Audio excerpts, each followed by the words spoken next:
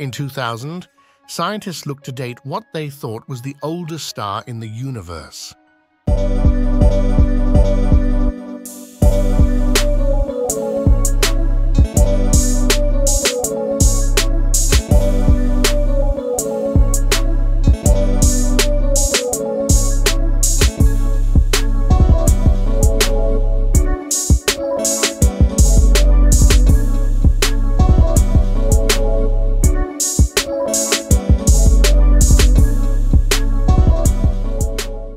Made observations via the European Space Agency's ESA Hipparcos satellite and estimated that HD 140283, or Methuselah as it's commonly known, was a staggering 16 billion years old.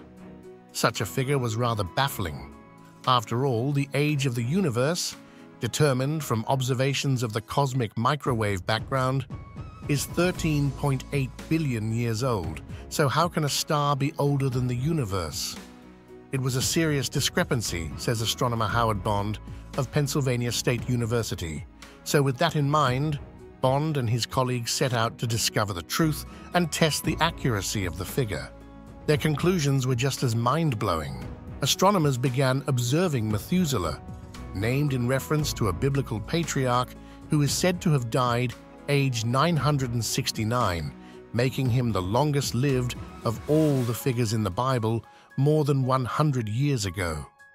The curious star is located some 190 light-years away from Earth in the constellation Libra, and it rapidly journeys across the sky at 800,000 miles per hour, 1.3 million kilometers per hour.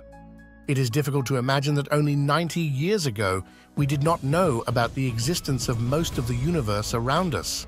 Most astronomers thought that the Milky Way contained all the stars in the universe. Albert Einstein added something called a cosmological constant to his equations to make sure the universe stayed still. In 1917, Heber Doust Curtis witnessed a nova, a sudden burst of brightness resembling a new star within what was then referred to as the Andromeda Nebula. Novas typically emerge swiftly and then gradually dim over weeks or months. This intrigued Curtis, and he began looking for more novas in photographic records. He discovered 11 more of them, but what really got him curious was when he noticed that novas in Andromeda were drastically fainter than novas in the Milky Way. Based on this, Curtis was able to estimate that Andromeda was 500,000 light-years away. As a result, Curtis became a proponent of the so-called island universes hypothesis, which held that objects previously believed to be spiral nebulae within the Milky Way were actually independent galaxies. This was a revolutionary step for mankind in cosmology. But we still assumed that the universe was static. It was clear that the star was old. The metal-poor subgiant is predominantly made of hydrogen and helium and contains very little iron. Such composition meant the star must have come into being when helium and hydrogen dominated the universe, and before iron became commonplace, the heavier elements only appeared when massive stars created them in their cores. But could Methuselah really be more than 2 billion years older than its environment? Surely that is just not possible. Either the star was older than the universe, or the universe was not as young as scientists thought it to be. Or maybe the dating was simply all wrong. What was it to be?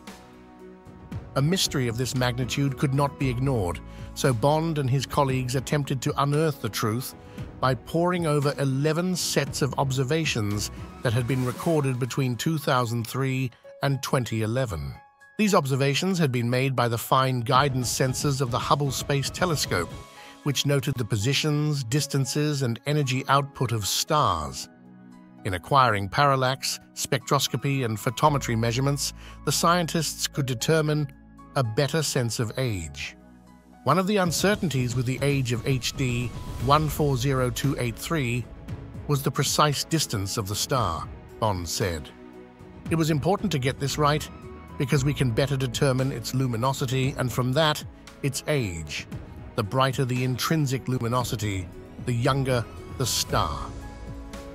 We were looking for the parallax effect, which meant we were viewing the star six months apart to look for the shift in its position due to the orbital motion of the Earth, which tells us the distance.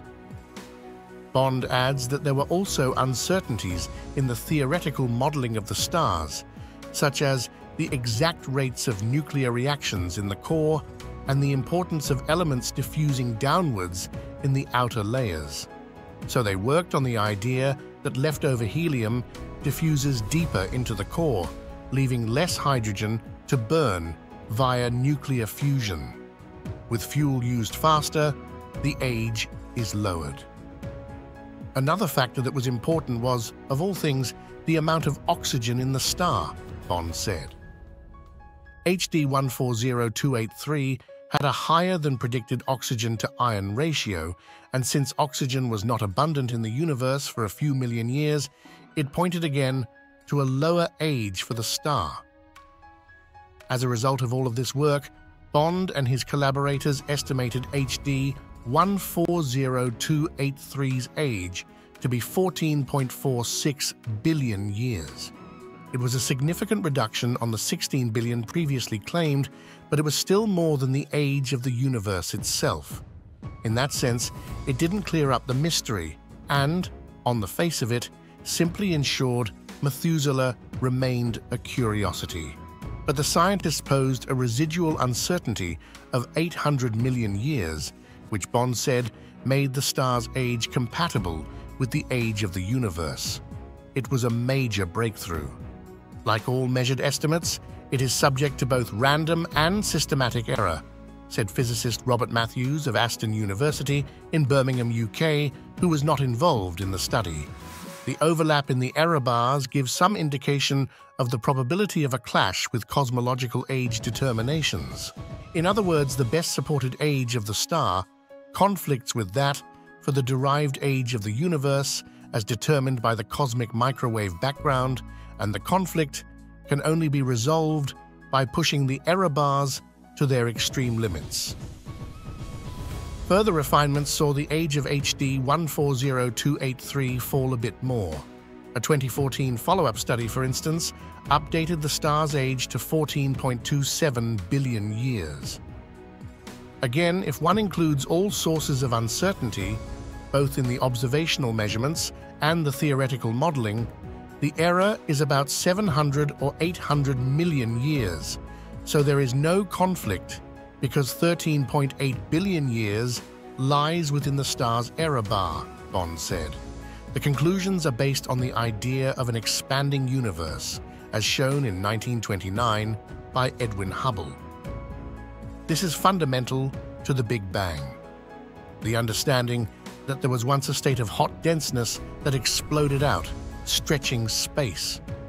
It indicates a starting point that should be measurable, but fresh findings are suggesting that the expansion rate is around 10% higher than the one suggested by Planck.